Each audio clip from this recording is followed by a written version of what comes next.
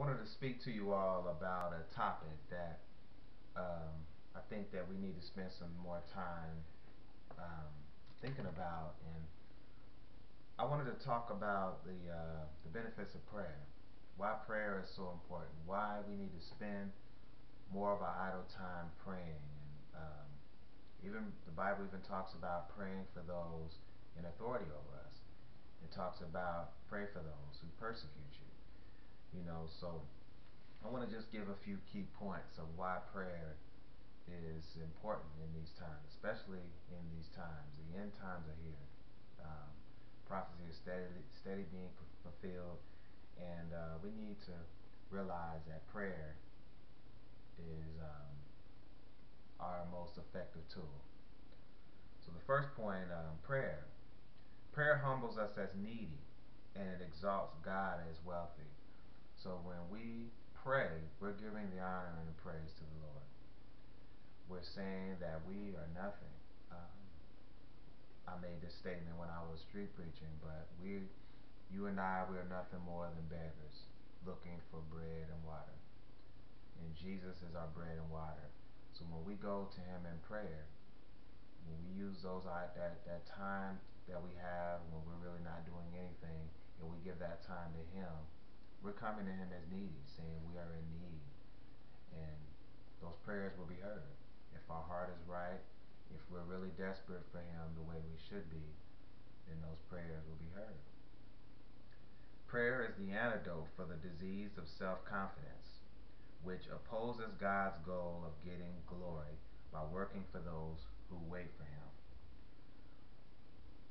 You know, it's very similar to if you know, as basically as Christians, we're all sick. Before we before we come to the life of Christianity, we are all sick, and Jesus is the doctor. A lot of us go. Just I'm gonna use an analogy real quick, just to kind of put it in context. It's like going to urgent care, and Jesus is the doctor, and you may wait to get to the doctor and you get impatient and you decide to leave. Someone else goes to the doctor and says, man, that doctor, man, I feel so much better now that I went to the doctor. You should go to the doctor too.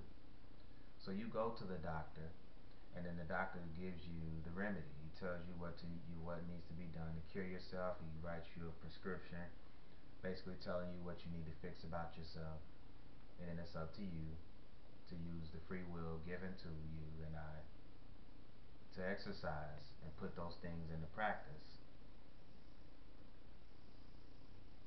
Where we mess up at is we don't go and fill those prescriptions. We don't hearken unto the word that he's given us. Even the people that he sent out to bring people to the doctor, you know, saying, hey, I know the doctor that has the cure for your sickness. I know the doctor that can cure you of the disease that you have but for whatever reason we don't want to listen to that person. But that's why prayer is also key because prayer allows us to become a manifestation of the Word of God. It allows us to carry out those acts of righteousness. Acts of righteousness are an expression of the Lord and an act of love for the Lord. Those are characteristics of righteousness. And these are the things that Jesus wants us to demonstrate. These are the things that he wants to implant in us. But we have to realize that when we go to Him in prayer, we're putting ourselves in a place of humbleness and lowness and saying that He's the only one that really can lift us up and assign us that purpose and the duties that He has for us. But we have to first go to Him. Going to Him first before we make decisions, going to Him first before you start your day, going to Him with everything is how He gets the honor and the glory and it removes self-confidence because what self-confidence does is it allows us to operate on our own. When we operate on our own, that's when the devil can come because like it says in Genesis, sin lieth at the door. If you do right, if you do right, you know, I will I will appreciate what you do as long as you do right. That's what he told Abel. Or that's what he told Cain. I apologize. But we have to come to terms and realize that, that sin lieth at the door. Sin is at the door. When you open the door and Jesus is knocking, you need to say, come on in. Because if you ignore his visits and you ignore his calls, guess who else is calling? So we need we need to realize that. Prayer prevents service from being an expression of pride. When we do things on our own merits and we forget about God, we forget to acknowledge Him and give Him the honor, then it puts us in a place of pride because now I feel like I did it. I did it by my own efforts, and a lot of us have achieved a lot of things on our own on our own merits and our own efforts. So because we've accomplished these things without God, we don't feel the need to get on our knees and talk to Him and commune with Him throughout the day. Use your idle time to talk to God. Because what happens is when you don't honor God and when you, whatever you're doing does not demonstrate God or does not have God attached to it, that means that you're getting the honor and the praise. And God can't do anything with that. The Bible says He's not a respecter of persons. So he's not looking at your decorated um, career or your decorated company that you have, your uh, Better Business Bureau rating and all that. He doesn't care about any of that. He's looking at the source of the goodness. Did the source of this, what you what you have attached to your life, derive from Him, or did it derive from self? These are things that you have to spend some time pondering about. Prayer is the essential activity of waiting for God acknowledging our helplessness and His power, calling upon Him for help and seeking His counsel. So when we pray, we're saying, Look, Lord, I have this in front of me. I don't know what to do with it. I have a situation that I don't know how to go about dealing with. I need you, Lord, to lay out the footsteps so I can walk into them. I need you, Lord, to reveal to me your will for this and what you would have me to carry out according to your word that is another essential uh, activity is waiting on the Lord and acknowledging our helplessness, acknowledging that within yourself, without Him, you can do nothing. You have to externally, you know, externally you need Him. You know, we need things externally. Everything around you, you need everything. Like you need lights to see, you need food to live, you need water to stay hydrated. You know, you need things apart from yourself in order to live. Prayer empowers for the mission of love. So when you're praying, you're asking the Lord to open up your heart, to open up your mind, to receive the fullness of Him. And that empowers you the mission of love. You ask the Lord to assign you your purpose. The fruits of the Spirit will impart in you and be and be an outward expression in your life. The power of prayer is the prelude to spiritual awakening. The power of prayer is the prelude to spiritual awakening. A lot of us are spiritually dead. We're sitting in church in the pews, spiritually dead.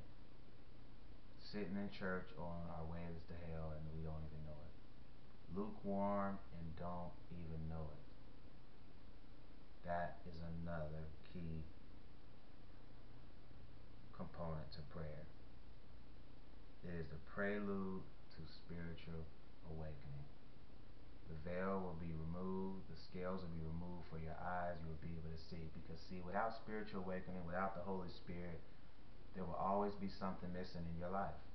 That's why you can turn on the TV and see these people on TV. They speak with such pontification, but still speak with, still be and speak with such ignorance at the same time. Because they don't understand that this is a spiritual problem and we need a spiritual awakening. There is not a physical solution to a spiritual problem, and we have a spiritual problem. John 15 and 17. If you abide in me and my words abide in you, you shall ask what you will, and it shall be done to you. Simple as that. If your word abides in him, how do you learn his word? You spend some time reading it Spend some time meditating on it. Ask for it to be revealed to you in the full in the fullest understanding that you need it to be. And last scripture, Matthew 9 and 38. Pray ye therefore the Lord of the harvest that he will send forth laborers into his harvest. See, the problem with the church body is the house is full, but the field is empty. Everybody wants to sit around the table and eat. Everybody wants to be in the house getting the blessings. Everybody wants to be in the house getting all of the benefits from the labor, but nobody wants to do the labor. So the field is empty. There's no one out in the field actually going amongst the people, going out to save the sinners. The only way to see people delivered from homosexuality, from the Nation of Islam, from sexual lust, from all of these problems, from all of the sin that's running amok. The only way we're going to see the true deliverance is for us to get out in the field. But see, church body has gotten so used to getting the benefits of being in the house that we don't want to go out in the field and get dirty. We don't want to go out in the field and be and be amongst the sheep. We don't want to be true shepherds as the Lord has ordained us to be. Some of us, the Lord hasn't even ordained us to be be shepherds. We just have placed ourselves in that role. Someone has just catapulted us up into that role because we were confident enough within ourselves to stand up before people and lead. But the Lord really did not anoint us or ordain us to be in that position. So I invite you today to spend some time considering about where you stand with the Lord. Spend some more time in prayer. Spend some more time talking to the Lord. Spend some more time asking the Lord you carry out his mission and his will.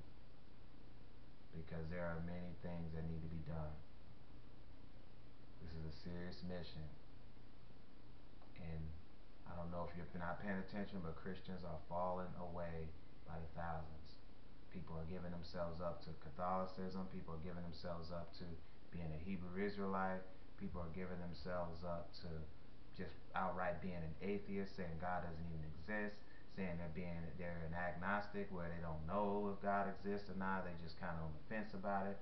We have all these different divisions going on within the world. Because, see, with the absence of God, you're going to see confusion, you're going to see ignorance, and you're going to see suffering. And you can turn on the TV, you can even walk outside, and you're going to see those three things every day confusion. You're going to see them. You're going to see confusion.